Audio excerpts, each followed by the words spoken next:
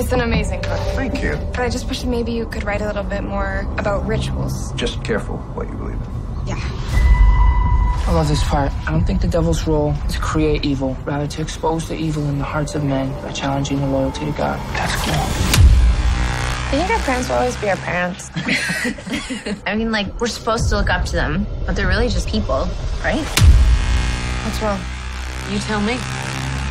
Ever since your father died, you've been into that occult crap. It makes me feel better, and my friends. Your friends are losers, Leah, like you're becoming. Every time I look at you, I see your father's face. God, I wish I could just wipe it off.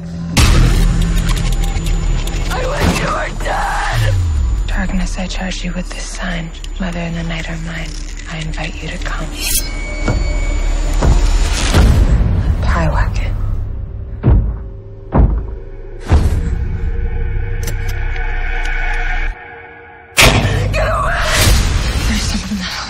Are you serious? I can't believe you wanted to kill your own mother. That's the scary part. No!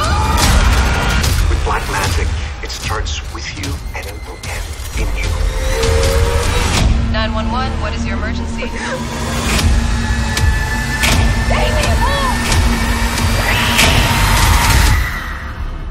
Leah, just let me in.